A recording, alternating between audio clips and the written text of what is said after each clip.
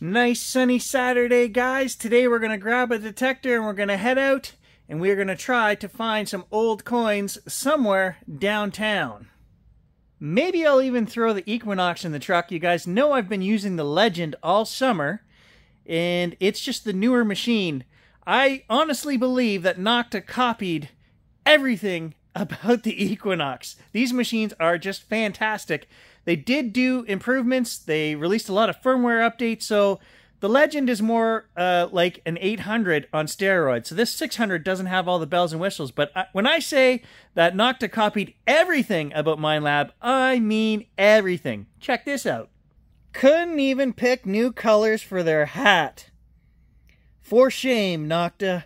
For shame. Today's gonna be a good day. Wake up. Today's gonna be a good day. Wake up. Today's gonna be a good day. You know what? Screw it, guys. We're just going to stick to the Legend today because I've been using it all summer. I'm trying to get the hours in on it. It's a great machine. Um, I don't need any more than that. I've, I've actually been wanting to buy a new machine. I actually wanted to spend $2,000 on a new Minelab machine and buy the Manticore. And I've been watching videos like crazy. Okay, there's two machines that are top tier, supposedly, and that is the Deus 2 and the Manticore. And guys, no matter how much I want, no matter how much I'm lusting after this new machine, the truth is that the Legend will do everything those machines will do, and it was a fraction of the cost, a third of the cost. Now, the reason I was thinking of upgrading is for the visual ID on the screen. You know, when you lock in on a coin or whatever junk target, in my case, you get that number between 0 and 100. Well, the Legend only goes 0 to 60. I don't like that. Is it worth buying a new machine just to, to fix the visual ID? No. Maybe if the visual ID was way more accurate, I would consider it. But all of the videos that I'm watching, both the Deus and the Manticore, the visual ID jumps around the exact same as the Legend. Any item that you have in the ground can be between, an example, a coin could go between 47 and 40. It'll ring all of those numbers up. Most of the time, it doesn't hit on a single number. So until they get something that can 100% give you a solid number, you know, and you know right away, well, this is a penny, this is a nickel. It, it never is the case. I mean, within a range, guys. I know nickels don't ring up like pennies. That's not my point. My point is, for $2,000, if you don't have a bang-on ID, if you can't draw me a picture of what's in the ground, I'm not buying it at this point. We're going to stick with the legend for at least until next spring. we'll see if they've come out with something better by then. For today, let's grab the legend and let's go. Don't take my word for it, guys. I am not sponsored by any detecting company. If you go online to iratemetaldetectors.com, which is Merrill, he also runs the YouTube channel NYC Detector, um, knows his stuff, guys. Been doing it for many years. See the treasures that this guy has pulled. He has rated on his site, number one, the Legend, which is above the Manticore and the Deus 2, and both of those are, you know, $2,400 Canadian machines, right? Um, I got my Legend with the Pro Pack. Came with a pinpointer, a digger, a couple of pouches, two hats. Um, anything and everything you need to get started was $900, guys. I paid more than that for the Equinox alone without a 6-inch coil. The 6-inch coil for the Equinox cost me $350. So for value, you cannot beat the Nokta Legend, okay? And then the fact that it's doing 95% of what these other machines are doing, as of right now, 2023, that's the machine to get for the higher end guys. If you want to start out with a simpler machine, I'd still, I'd probably say one of the simplexes. They came out with a couple of new ones. Um, you know, just good machines and cheap. Got a fair amount of green space here. I have tried over uh, this end of the park and did find 1940s pennies and stuff before, so I thought, eh, we'll start here and just see what we can find. There is the potential for old stuff. This park is incredibly clean, except the first three holes I've dug, oh, I've dug three big chunks of iron like that, very deep, like 16 inches, ringing up almost like coins. So, ringing up like a coin, but not a coin. Solid 25, but not old. 1994 Canada nickel. Nope, that isn't it. Well, first penny. I don't believe that that's an old one. Mm, 1981. What is that? I don't know. It's got a plastic sheath on it.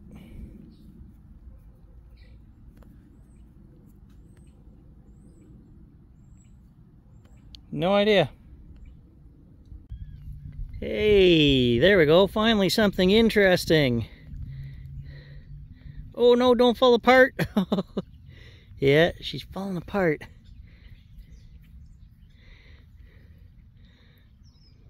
What was it? It's a dinky car. Was it just a Humvee? Let me uh, brush that off. There's the bottom side and the tires. We just had a underbody failure right there, 100%. so even after brushing it off, I'm still confused uh, as to what it's supposed to be. It had tires, so it's not a train, um, but it's got a very weird shape. Play Art, and then the bottom plate there says tire tender on it, made in Hong Kong, but there's no date. So that's what's left of the bottom. Uh, it would be cooler if there was a date, but hey, still, cool find. You guys can see fall is upon us here behind me. All the leaves are turning beautiful red and orange. That little dinky car there, if I had to put a date on it, guys, I would say early 80s.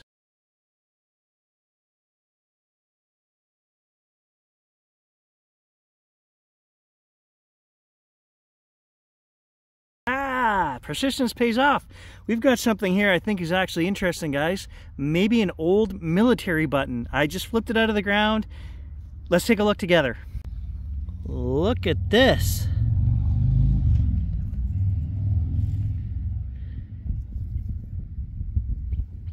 Definitely an old button. Let me brush this off.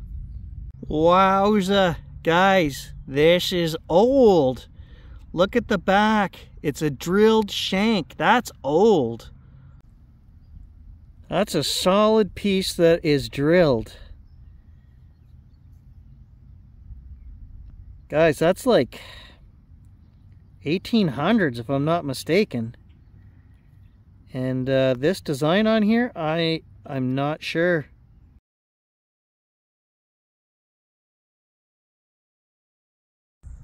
Also to note guys, on that last find, the button there, I switched the machine over to single frequency, 15 kilohertz. No doubt we would have found it in multi as well, but I thought I'm gonna go old school for a little while in the park here, just like the old Makro cruiser that I had, 15 kilohertz, and see what we can find. And that was the first target, and that was ringing up a solid 40. So it's definitely made out of a brass alloy of some kind. That button is old. Also, I guess we should note, guys, my complaint about the Cruiser was that it was always too noisy, too chirpy, too hot. We would put it in four-tone mode, which I don't have that as an option on this machine, but I've got to tell you, the single frequencies are quiet as a mouse. They have ironed out any issues that I had with that Cruiser. This thing, you just can't beat the Legend. I love it. And right beside the button, we've got this interesting piece here. That is old as well. That almost, well, I don't know. The real money today would have been in worms. I've dug at least three dozen. At four dollars a dozen, hey, that's a that's a better return than what I'm gonna get on making this video. So in the wormhole, we've got a penny, but it might be an old one. Let's find out. Canadian. Nope, I can see it. 86. All right, I've run out of time for today, guys, but uh, definitely this park might be worth coming back. That button has me intrigued. All right, new day, new park. This is one of the old ones that we've done 500 times. Probably have 500 hours on this field, but we've got the Legend, and there's a few places that are really dirty here with nails and stuff, and I think the Legend's going to excel. So we're going to try that uh, just to, you know, see. I know there's 1880s stuff we have found here. So before turn of the century, can we get lucky today and pull a couple more things? I've got a few hours to kill. Let's find out. With over 500 hours on this field myself, guys, I know that uh, all the good signals are pretty much gone. So it's going to be something that's going to be a questionable signal uh, that may end up being a ring or a coin or something. It's not going to be a, woo, we missed this because we've just been over it so many times. That being said, I haven't been here yet this year. And every year when the spring frost comes up, it turns new things, pushes them to the surface. So I don't know if the other guys were here this year, Stan, John, I don't know, but let's give it a swing. I'm betting we're going to come out of here with probably, I'm going to say at least 15 pull tabs because that's all that's left of those 35 signal in that area. But guys, those signals can also be nickels or gold rings, so you never know. Well, there's the first four holes. An old nail, some brass wire, aluminum, and a dew worm. I don't know what he ate, but boy, was he giving off a good signal. Bummer. Here's part of the old 1880s schoolhouse that was here.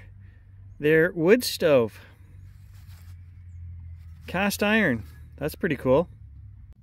All right, I've been here almost an hour, and there is the first roundness in the hole. It's an, a penny, but it looks like it's going to be an old one. I've pulled a lot of them out of here from the 30s, 40s, or even before. Well, that's disappointing. It's not even as old as I was hoping. 1955. But it just goes to show there are still coins here. Few and far between, but they are here. Does anyone know what that is? It's got a scale on the bottom here. It starts with S. And then there's a whole bunch of little lines and there's numbers. 4 10 4 38 I have no idea. It's broken right there but no idea what that is. Well there's a live 22 round.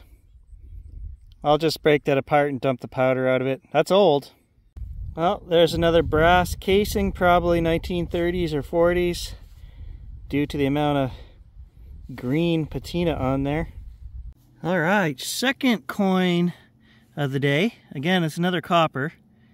And I mean, I hope that it's older. It's thick, it's very green, and it came out of the hole with some brick from the original school, too. So it, it could be older. Hey, 1547. Look at that. There's number four.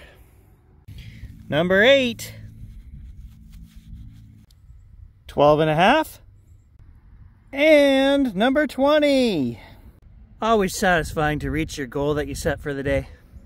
So if anyone had any doubts about the capabilities of the legend, don't. I mean, this field has been beat to death. Literally between Stan, John, and I, there's got to be seven, eight hundred hours on this field. And the legend is still pulling coins out of here. So, guys, for the price, there's no point in me upgrading. There is nothing out there that will beat the legend right now. We're sticking with the legend. And there, down there probably 13 or 14 inches, pulled out an old square nail. That's from the original school as well. Well guys, I hate to call it on a pull tab now, but there's two guys behind me showed up with lawn tractors to do the field. So I guess we're done for today. It's gonna be noisy, it's hot already, and we're not really finding anything, so we'll call it. I hate to call it on a pull tab, I really do.